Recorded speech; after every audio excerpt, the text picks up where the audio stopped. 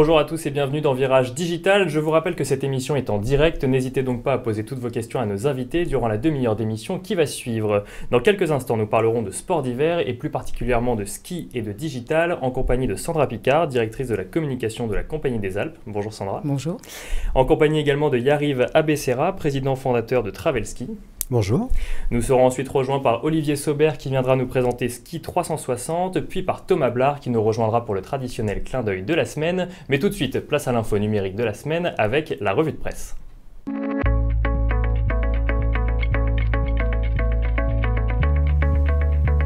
Bouygues Telecom annonce la création d'Objet News, sa filiale dédiée à l'Internet des objets. L'idée de l'opérateur est de couvrir l'ensemble des segments de valeur de l'Internet des objets et il proposera ainsi l'élaboration de capteurs spécifiques aux besoins de ses clients, la mise à disposition du réseau LoRa pour connecter les objets et la gestion de données via une plateforme éditée par Hewlett Packard Enterprise. La filiale entend également pratiquer l'open innovation et proposer des applications métiers spécifiques en faisant appel à des startups au sein de son écosystème. Disponible d'ici quelques semaines, les offres d'Objet News couvriront dans un premier temps la gestion de tournée, la la maintenance prédictive ou encore la géolocalisation. Alors plein de sujets qui ne vous concernent pas forcément directement, mais de manière plus générale, l'Internet des objets, est-ce que c'est aussi un enjeu pour les activités du ski? Sandra? Oui, ça, c'est sûr. La vraie question, c'est de savoir euh, comment connecter les objets connectés. Parce qu'en fait, euh, on peut vite tomber dans la multiplication de ces objets et il faut toujours veiller à l'intérêt du client et à ne pas trop être trop intrusif. Ça, c'est important y arrive sur le ski, euh, c'est indéniable qu'aujourd'hui, euh, l'objet connecté et euh, la simplification de l'organisation d'un séjour au ski, c'est un vrai sujet, on va en parler. Et toutes ces innovations, tous ces sujets-là font partie aujourd'hui des défis qui sont les nôtres dans les 3-4 ans, faire en sorte de casser des points de contact grâce à la digitalisation et à l'objet connecté. Notamment le ski pass, par exemple, le premier. Qui sera bientôt connecté, qui est peut-être déjà connecté Qui n'est pas encore connecté, et c'est un sujet. Alors, deuxième actualité cette semaine, le Safe Harbor avait été invalidé il y a quelques mois et le voici aujourd'hui enterré.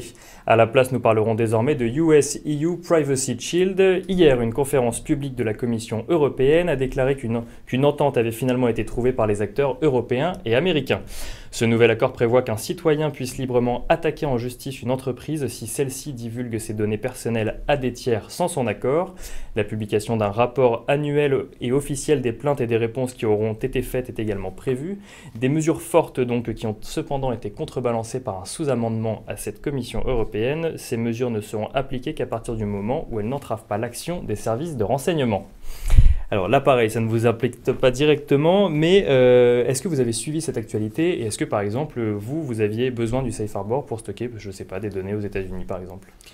C'est un sujet qui directement ne nous concerne pas, euh, puisque nous, on stocke encore toute la donnée en France et, on est dans un cadre euh, assez couvert par la CNIL. Mais c'est vrai que toute la partie sociale, toute la partie digitale aujourd'hui de partage va nous amener à regarder ces sujets-là. Mais on va attendre déjà que les réglementations se fassent pour pouvoir prendre le sujet et, le taureau par les cornes.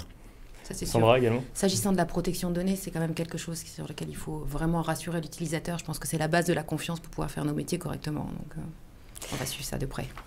Et alors, troisième information cette semaine, Amazon, le géant mondial du e-commerce, s'attaque désormais au marché de la logistique. Dans un document financier adressé à la Security and Exchange Commission, l'entreprise se présente désormais comme un fournisseur de services de transport. Propriétaire de ses propres camions et entrepôts afin de minimiser les coûts de livraison et garantir une livraison en temps et en heure, Amazon pourrait bientôt mettre ses ressources à disposition d'autres distributeurs.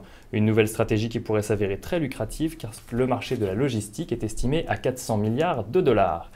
Alors encore une fois, ces géants du web s'invitent dans tous les secteurs d'activité. Est-ce que ça vous fait peur, vous, dans le, dans le ski?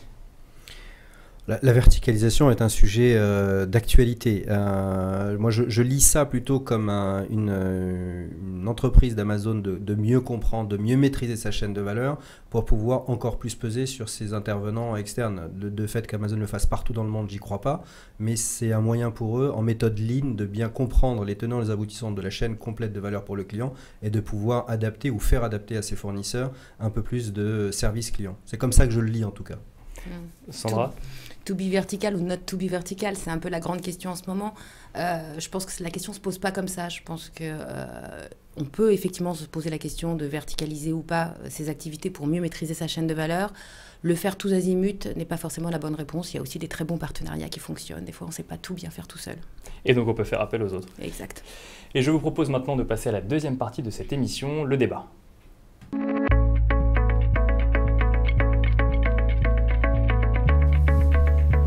Comment le ski donc se transforme avec le digital? Voilà le sujet qui va nous animer aujourd'hui. Pour en parler, je vous rappelle donc que nous sommes avec Sandra Picard, directrice de la communication de la Compagnie des Alpes, et Yariv Abessera, donc le président fondateur de Travelski.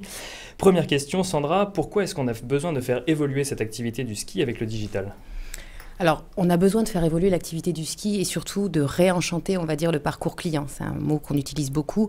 Pourquoi? Juste en deux temps, trois mouvements, Qu'est-ce que c'est que le marché du ski? C'est un marché qui est quand même, on ne le dit jamais, mais euh, mature et un marché de plus en plus concurrentiel. Pendant longtemps, c'est vrai, on a bénéficié et on bénéficie toujours des euh, plus beaux domaines skiables, ça c'est une chose. Euh, mais on a, c'est vrai, de moins en moins d'aficionados pure souche.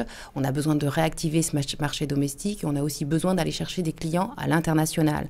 Là où le secteur du tourisme se développe le plus, y compris dans les dépenses de loisirs. Parce qu'en fait, on perdait des clients aujourd'hui, des clients qui allaient ailleurs ou qui n'allaient plus au ski tout simplement? Pas de façon flagrante, mais en fait, on s'aperçoit quand même que quand on est sur un marché mature, on est euh, sur une tendance un peu molle euh, de croissance, alors qu'il y a certainement de la croissance à aller chercher. Mais pour ça, il faut aller la chercher. Et le digital est une vraie réponse. Et alors justement, comment est-ce qu'on va chercher cette croissance Ça y arrive euh, à la question que vous nous posez aujourd'hui, c'est sûr que le client ski, euh, typiquement, est un client extrêmement digitalisé, euh, extrêmement équipé en termes de smartphone, de tablette, et que la réponse apportée de cette industrie-là était quelque peu décalée avec les habitudes de consommation. Il y avait une dichotomie entre la facilité d'organisation de séjour au ski et la réalité sur le terrain. C'est-à-dire qu'aujourd'hui, pour que le, ski se réapproprie tous les points de contact et casser le, sacerdoce de, l'arrivée d'un client en famille euh, le samedi, eh ben, il fallait que cette industrie se serve euh, de la digitalisation, se serve des outils technologiques pour pouvoir répondre à l'attente légitime d'un client aujourd'hui qui a l'habitude de voyager à l'étranger, qui est extrêmement bien équipé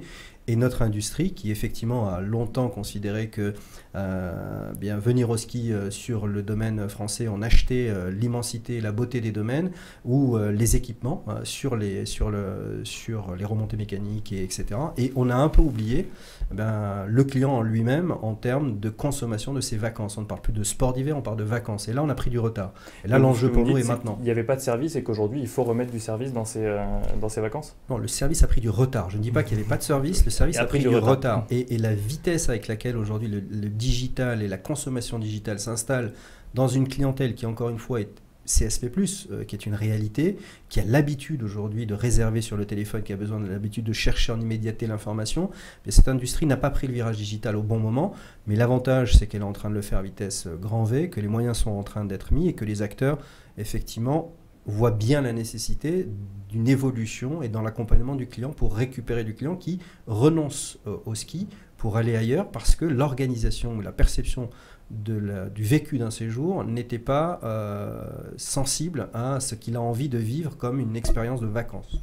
Sandra, vous, partagez cet avis? Oui, complètement. Les, les, clients sont devenus des experts et des experts de la fluidification de leurs expériences. Donc, euh, il n'est pas possible qu'il n'ait pas la même fluidité dans l'expérience ski. Sinon, c'est un no-brainer. On va les perdre définitivement.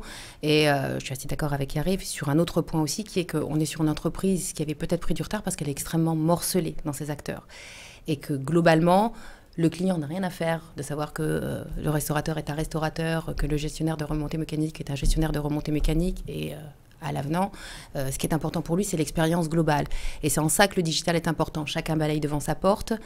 et nous, à la Compagnie des Alpes, on développe nos propres applications sur nos domaines, mais c'est qu'une seule partie de la réponse. L'autre partie de la réponse, c'est effectivement d'amener l'ensemble des acteurs à agir ensemble pour offrir l'expérience la plus fluide possible pour un client autour du parcours client qui est unique et pas seulement sur une partie du domaine. Et alors, comment on les fait travailler ensemble, tous ces clients? Parce qu'effectivement, il y a des restaurateurs, j'imagine qu'il y a des supermarchés, j'imagine qu'il y a des, bah, des, gens qui louent du matériel. Comment est-ce qu'on arrive à les faire travailler ensemble pour proposer cette offre fluide euh, aux clients? Pour qu'il y ait un intérêt à agir Pour qu'il oui. euh, C'est assez simple. Je pense que d'abord, euh, la plupart des gens euh, balayent devant leur porte et se rendent bien compte aussi qu'il est nécessaire d'aller vers ce sens-là. En ce qui nous concerne, on a tout simplement développé des pilotes. Hein. J'en veux pour preuve, euh, à Val d'Isère, on a développé euh, un projet qu'on a appelé euh, Val Digital, qui est constitué de plusieurs briques, qui concernent plusieurs personnes, qui nous ont amenés à débattre, à fonctionner avec l'Office de tourisme, avec les élus, avec l'ensemble des sociopros, à la fois à travers du Digital Days pour sensibiliser tout le monde, et puis aussi euh, pour amener euh, les gens à partager leurs informations, mais pas seulement les informations data client, mais les informations et les news qu'il est bien de poster au bon moment, au bon endroit, sur le bon support pour que les clients en disposent. Ça, ça vient assez vite lorsque vous mettez les gens ensemble. Alors, il arrive, vous avez mené, enfin, Travelski a mené avec Google une étude sur la digitalisation du ski. Est-ce que vous pouvez nous en dire quelques mots? L'étude, oui, bien, avec, grand plaisir. En fait, c'est un, baromètre de démarrage de saison. Euh, on, a, on, a, cherché avec euh, Google à, bien regarder l'amont du séjour, c'est la préparation. Tout ce qui est consiste à se dire euh, je prépare mon séjour au ski grosso modo de septembre à novembre pour partir en février. Et dans le démarrage de, de, l'histoire de Travel Ski, on se concentrait à dire je vends un séjour et j'espère que ça va bien se passer en station avec, avec, mes fournisseurs. C'est résolument terminé. Donc avec Google, on a cherché à comprendre combien de combien de temps, comment, combien, euh, quels sont les services qu'ils cherchent. Donc aujourd'hui, on voit une accélération de la recherche sur les ski pass, alors que c'est pas le métier naturel de travel ski, c'était de vendre un package tout compris, mais on se rend compte qu'aujourd'hui on dépackage parce que euh, on veut d'abord assurer son séjour, et puis il y a tout, tout le moment, on va dire que nous on appelle aujourd'hui door to door, où on a imaginé 10 points stratégiques dans la préparation du séjour, et les 4-5 points anxiogènes qui font que vous vous projetez avant d'arriver en station et qui sont extrêmement anxiogènes. Donc euh, les chaînes, des, points, donc on remarque aujourd'hui la météo sur les routes est extrêmement euh, tapée, que l'enneigement est entièrement tapé, que le parking où je vais garer ma voiture, tous ces services qui nécessite aujourd'hui la mise autour de la table de tous les socio-économiques d'une station, où c'est contre-intuitif euh, sur une start-up comme Travelski, qui a comme, enfin on n'est plus une start-up, mais il y a 10 ans, c'était pas les sujets qu'on abordait. On s'était dit la promesse client de faire un package et de simplifier l'acte d'achat d'un séjour au ski. Aujourd'hui, il faut prendre en considération tous les points anxiogènes pour grâce au digital ou à cause du digital, euh, pouvoir répondre à ces demandes-là. Donc avec Google, on a cherché à travailler l'amont euh, de la préparation du séjour. Donc on voit bien que c'est extrêmement euh, smartphone et tablette, euh, qu'il y a une décroissance de... Donc il commande via smartphone ou tablette, ou il se renseigne via smartphone Il se renseigne et, la croissance des, des réservations se fait, aujourd'hui on a 35 à 40% de notre trafic qui se fait sur le, sur le smartphone. Euh, il faut euh, bah, tout simplement changer euh, la façon de voir, la navigabilité sur nos sites, la façon de naviguer, la façon de rechercher. Donc c'est ce qu'on travaille avec Google puisque c'est quand même le réceptacle de, ce beau monde qui cherche, le, donc, qui cherche la séjour au ski. Et puis après d'adapter avec nos partenaires des solutions où on va pouvoir travailler en collaboration ou bien adapter des investissements, parce que la technologie nécessite beaucoup d'investissements, de se dire on va pas tout faire tout seul en bon gaulois, mais on va le faire aujourd'hui avec des partenaires qui sont matures, qui partagent notre avis, et on, le voit bien, sur la nécessité d'adapter ensemble des choses, puisqu'on doit développer le séjour au ski, c'est une semaine maximum. Et donc l'investissement est extrêmement lourd et on ne peut pas se louper. Parce que l'exigence du client aujourd'hui sur le digital, elle est maximale. Donc on ne peut pas bricoler. Mieux vaut pas faire que bricoler. Donc on en revient à ce que disait Sandra, c'est travailler avec toutes les parties prenantes sur, euh, sur ce type de, thématique. Euh, au niveau des canaux utilisés, vous nous disiez finalement que le mobile prend de plus en plus de place et donc délaisse en fait le premier écran qui était l'ordinateur euh, au départ?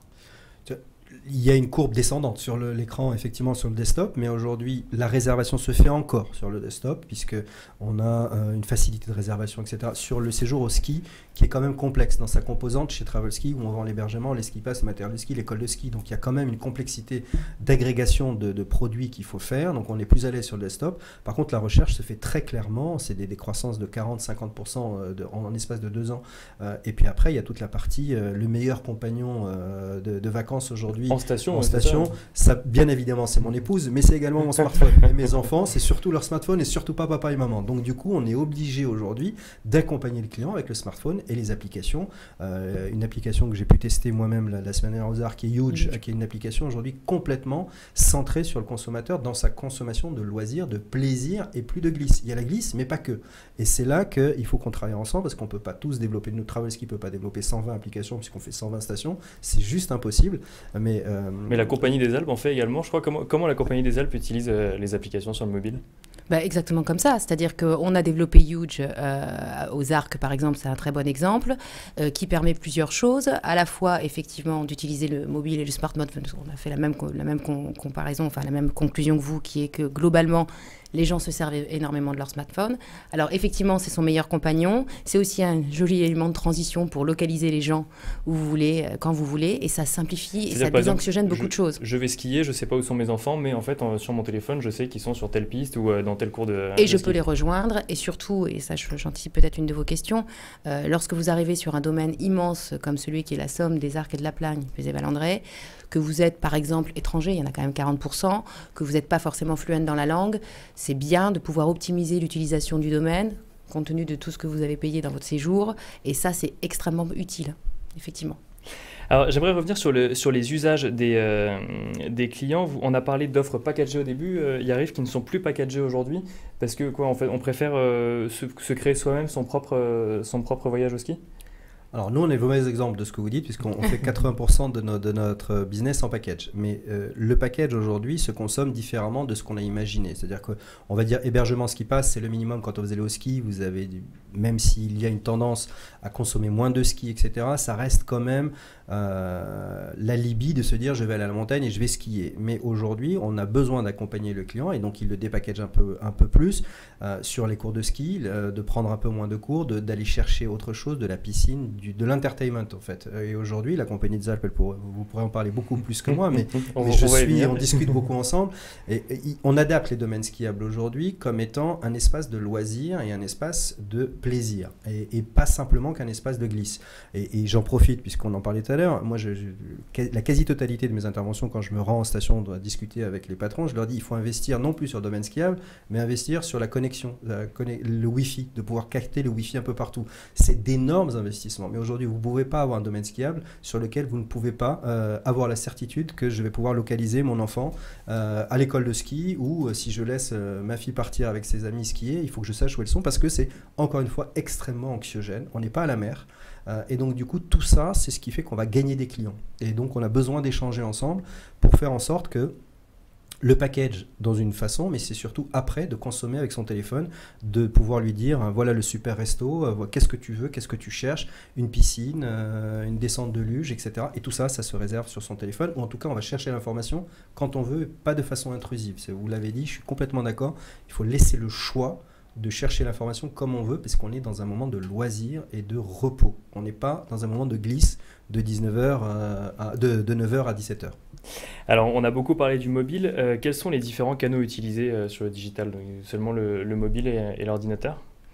Alors, en ce qui nous concerne, nous, on se sert essentiellement effectivement du mobile, puisqu'on est très concentré sur l'expérience client au moment au où il arrive en station, tout Au moment où il arrive en station. Alors, euh, bien évidemment, on, travaille avec nos partenaires là-dessus aussi. Sur l'avant, pendant, après, on a toujours un peu la même décomposition, mais il est vraiment important que l'expérience qui, au moment où elle a lieu, soit assez parfaite. Et donc, je vous rejoins complètement sur le faux dépackaging. En fait, globalement, vous imaginez davantage de scénarios pour que chacun puisse packager comme il le souhaite. On est dans un univers où il faut être immersif, très affinitaire où les gens doivent se sentir complètement libres. Donc vous devez leur offrir la fluidité et un certain nombre de choix.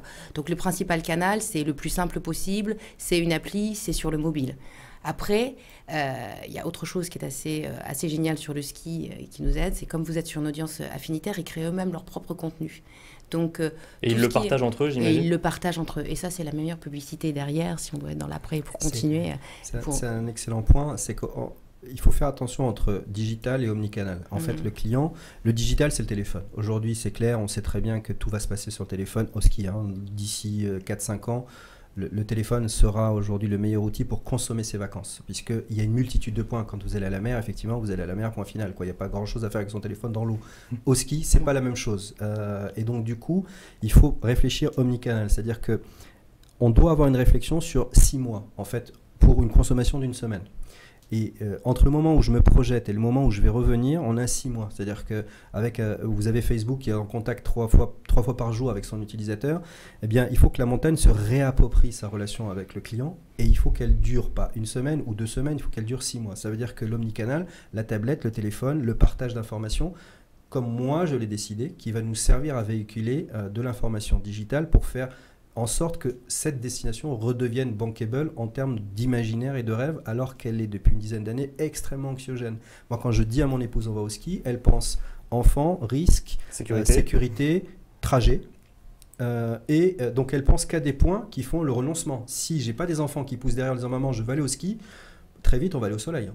Et donc, c'est le défi de l'industrie du ski aujourd'hui de simplifier tout ça. Et le digital, pour moi, c'est la meilleure arme pour nous, pour nous aider. Après, il faut être au rendez-vous de la volonté de chacun et de chacune. Et c'est là où je rejoins complètement de dire il faut donner le choix de construire ce qu'on a envie comme vacances. Et alors, quelle est la place des réseaux sociaux justement sur, ces, euh, sur le digital? Est-ce qu'on on, parlait donc de contenu collaboratif, on parlait également donc d'être présent sur six mois, euh, donc du coup il faut être présent sur les réseaux sociaux même toute l'année pour, euh, pour alimenter en continu? Alors, je ne sais pas s'il faut qu'on ait une présence. Là, c'est des vrais débats. S'il faut avoir une présence totalement euh, volontaire et euh, maîtrisée, ou s'il ne faut pas laisser s'échapper euh, les informations parce que ce sont une fois de plus des, des, des activités qui sont très affinitaires et qui créent par elles-mêmes. Par contre, il faut savoir capter et collecter la data et les informations qui suivent derrière. Et c'est en ça que les réseaux sociaux sont importants pour nous. C'est la façon dont on va les suivre et dont on va suivre les cibles pour ensuite, on est toujours, je vous le rappelle, pas d'intrusion et euh, beaucoup d'immersion, pouvoir rediriger vers le client qu'on aura comme ça suivi euh, la meilleure offre au meilleur moment et le meilleur accompagnement. Ça, je pense que Et donc c'est cibler toujours plus en fait euh, les clients. c'est essentiel. Et, et pour, pour, pour poursuivre ce point-là, je pense que là où, où le client nous attend, euh, c'est une fois qu'il est en station, de pouvoir le guider. Euh, le guider via de l'applicatif. Aujourd'hui, vous allez chercher vos clés dans une résidence, euh, vous avez fait 400 mètres avec vos bagages dans la neige et on vous dit il faut aller à la résidence Mélèze.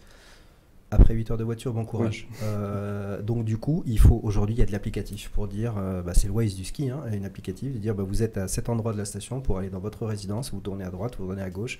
Et ça, c'est un énorme travail de cartographie. Et encore une fois, seule personne ne peut le faire. C'est l'ensemble des socio-éco. Mais sauf que l'industrie n'a pas l'habitude de ça. L'industrie à dire, je vends des vacances, alors qu'aujourd'hui, on doit leur dire, réappropriez-vous le territoire pour rendre plus accessible l'imaginaire du consommateur. Et c'est un bouleversement de cette industrie qui est majeur. C'est-à-dire que même des acteurs comme Travelski aujourd'hui, on passe notre temps à dire ça, alors que je devrais passer mon temps à aller chercher des clients et gagner des clients tous les jours. Mais je ne peux pas les gagner si la bataille du, digital ou du mariage du digital avec la réalité euh, de, la consommation du séjour ne se fait pas. C'est pas un sujet de Travelski ou c'est pas un sujet de simplement de la Compagnie des Alpes, c'est un sujet de tout le monde. Et, là, effectivement, c'est fondamental dans l'enjeu qui est le nôtre autour du digital et du ski. Et ben ce sera le mot de la fin. Merci à tous les deux d'avoir parti- participé donc à, à cette deuxième partie et je vous propose maintenant de passer à la troisième partie de cette émission, le pitch de la semaine.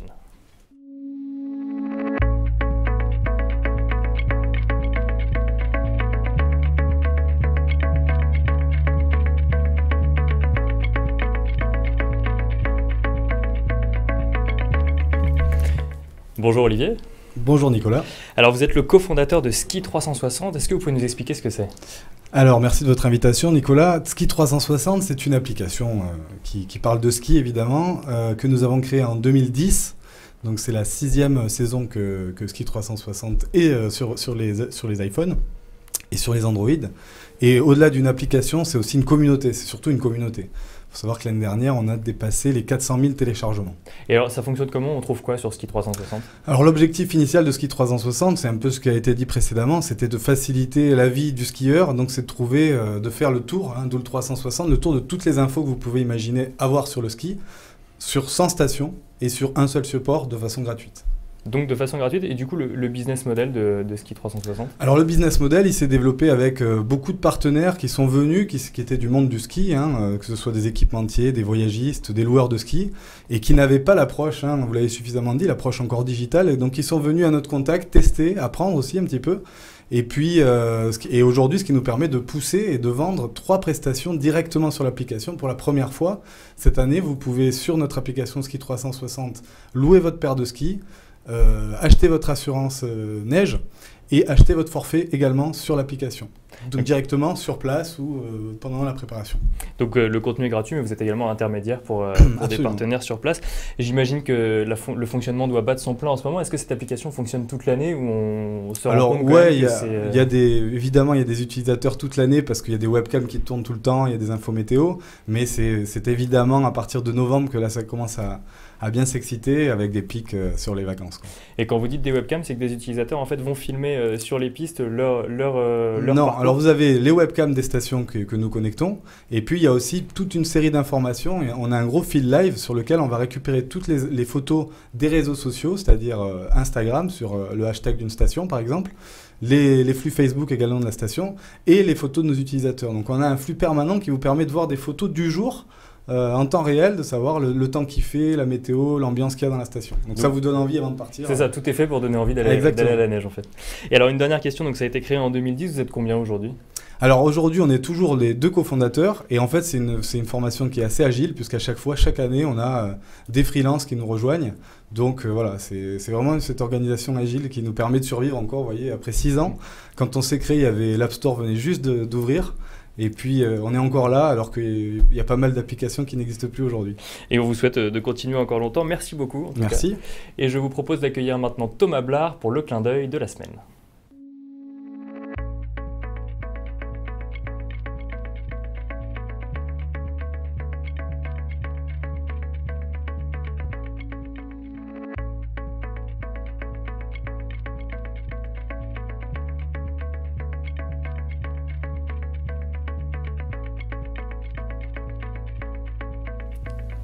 Bonjour Thomas. Bonjour Nicolas, bonjour à tous. Alors de quoi est-ce qu'on va parler aujourd'hui? Bon, Je retire mon, mes lunettes de ski hein, pour faire un clin d'œil, euh, parce que le ski, on l'a parlé, hein, c'est aussi anxiogène et à raison, 150 000 euh, blessés euh, par an. Et donc il y a des startups qui sont penchées sur la question et qui ont développé, on va voir une petite vidéo, un airbag qui permet en cas de faux mouvement eh bien, de déclencher en 100 millisecondes une, un gilet, un gilet qui se gonfle automatiquement. Alors ça ressemble un peu à un gilet de sauvetage, hein, euh, mais ça permet, vous le voyez, dès que ça se déclenche, eh bien, de protéger les parties sensibles du corps et en particulier la colonne vertébrale. Donc c'est un complément euh, qui euh, est en train d'être testé. Pour l'instant, ce n'est pas encore à la vente. Hein. C'est une start-up américaine qui fait ça, qui s'appelle InEmotion, et qui proposera ça à la vente pour le grand public au mois de juillet. pour l'heure, c'est testé surtout par les, professionnels, c'est-à-dire les, compétiteurs de haut niveau. Mais on voit que bah, dans ce domaine aussi, hein, on a des innovations qui arrivent et un progrès euh, technologique qui permet eh ben, d'assurer euh, son ski euh, dans de bonnes conditions. Et de faire du ski en, toute sécurité, ça vous donne envie de tester l'airbag de ski, Sandra? Oui, pourquoi pas. De toute façon, c'est quand même des activités où la liberté est extrêmement importante. Donc, vous ne pouvez pas contraindre les gens à avoir les comportements que vous souhaiteriez tout le temps. Donc, tout ce qui peut l'aider, l'accompagner dans sa sécurité, je pense que c'est bienvenu. Mais et ça, c'est très important parce que dans, dans les enquêtes qu'on fait avec nos clients, dans le top 5 du renoncement, euh, on a la sécurité. Euh, donc si on a des solutions aujourd'hui qui peuvent casser des points anxiogènes, j'achète des deux mains et, des deux souris. Bon, on verra si ça devient populaire parce que euh, vous parliez des, Gaulois tout à l'heure, hein, arrive, mais c'est vrai qu'en France, on voit encore une réticence à mettre un casque, par exemple, contrairement à d'autres cultures ou d'autres stations à l'étranger. donc on verra si les Français ont cette culture, de, cette notion de la protection du risque qui est peut-être parfois un peu différente que nos petits voisins européens. Il y a une grosse explosion hein, sur le casque depuis l'an dernier, euh, on le voit de plus en plus, mais c'est des choses sur lesquelles il faut s'améliorer, c'est sûr. Voilà, et c'est vrai que nous, c'est un chapitre qu'on a créé à partir de l'année dernière. Hein, vraiment, on a été poussé avec AXA Prévention notamment pour pousser du conseil de prévention au ski tous les jours, apporter un conseil particulier, que ce soit aussi sur la route, hein, parce qu'il y a des dangers dès, euh, dès la montée aux stations. Les chaînes sur les pneus. Exactement, voilà, et euh, jusqu'à l'arrivée en station, et puis des petits conseils pour se, pour s'échauffer pour, et pour arriver en sécurité sur les pistes. Donc voilà, faire du ski c'est sympa et revenir en pleine forme c'est encore mieux. Donc mettez un casque et un air en attendant mieux. Merci à tous les quatre d'avoir participé à cette émission. Merci, beaucoup. Merci. Merci à vous d'avoir suivi Virage Digital. Je vous donne rendez-vous dès demain matin pour retrouver le replay sur Decider TV, sur IT for Business, sur ZDNet, mais également sur PC Expert. Et je vous donne rendez-vous mercredi prochain à 18h pour un nouveau numéro.